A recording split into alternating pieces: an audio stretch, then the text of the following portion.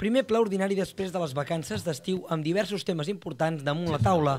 En primer lloc, i un dels punts que va portar més polèmica, l'aprovació del compte general de la corporació del 2008, un punt que va enfrontar els socialistes i l'alcaldessa. Disculpi, senyor Pereño. que no hi estem d'acord, que no estem d'acord amb com s'han fet les coses i recordar que s'estan fent unes declaracions públiques per part de l'alcaldessa, ha sortit el 9-9 fa un parell de mesos, va sortir amb una espècie d'event que el Convergència i Unió va organitzar fa un mes i ha sortit recentment el, el document aquest que una mica intenta explicar o intenta discutir, allà sí, de, sí que deu tocar, on ningú els hi pot rebatre, intenta discutir aquests pressupostos i al nostre entendre faltant bastant a la veritat, res més.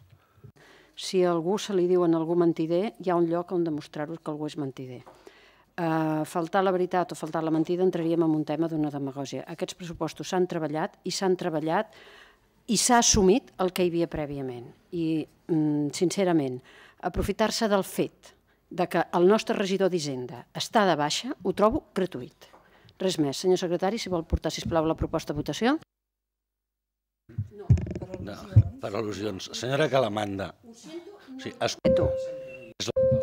sembla molt trist, està vostè que, la, que el Escolti'm, representa. per això estic jo presidint el ple i si vostè té alguna pregunta, la fa. D'acord? Que jo sàpiga, no li he sentit cap pregunta. Li he sentit desqualificacions i faltes de respecte. Senyor secretari, sisplau, porti la proposta a votació. Malgrat tot, es van aprovar els comptes del 2008 amb els vots favorables vots de l'equip de govern. Abstencions?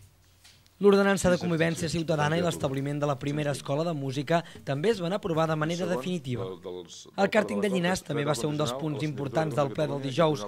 L'Ajuntament de Cardedeu ja ha presentat les al·legacions davant del consistori de Llinars del Vallès relatives a la modificació del Pla General d'Ordenació Urbanística per la implantació d'aquest de centre esportiu que tanta polèmica ha despertat. i ambient.